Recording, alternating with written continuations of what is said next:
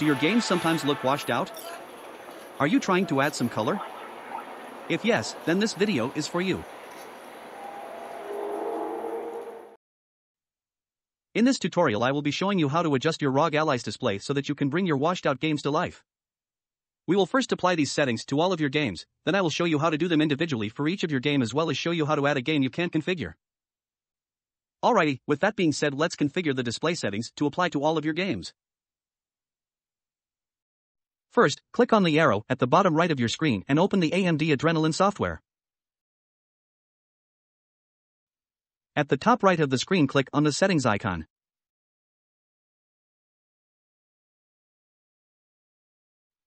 Click on Display. Enable Custom Color.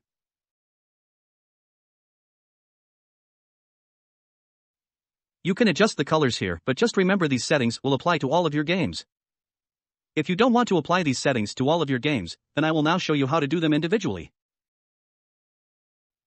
Let's configure Cyberpunk to apply certain settings whenever we launch the game. Just know that you don't have to launch the game in the Adrenaline Center, and you can launch it anywhere including Steam and Armoury Crate. First click on Gaming then click on the game you want to configure. Cyberpunk will be used in this example.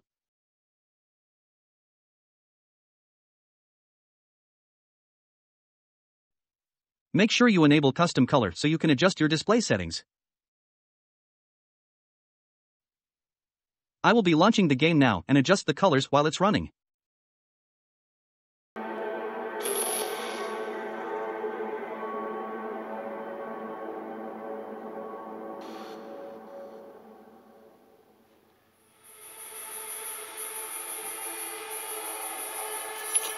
As you can see, I made the game black and white by disabling the saturation, and this will be black and white after launching the game again after closing it.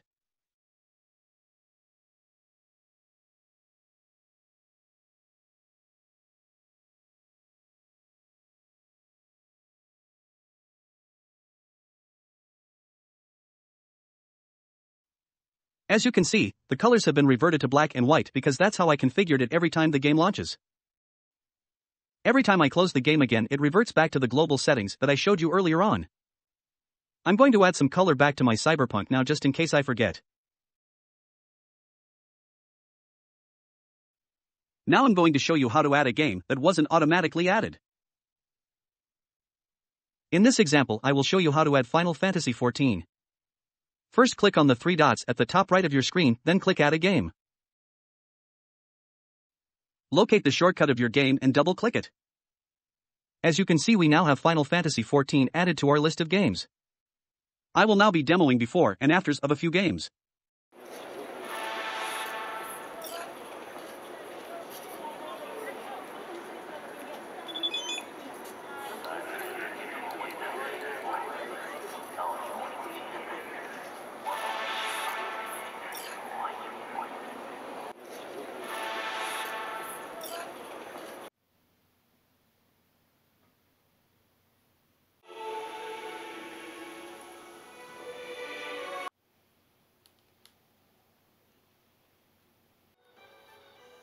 I hope you guys find this video useful and don't forget to comment like and subscribe.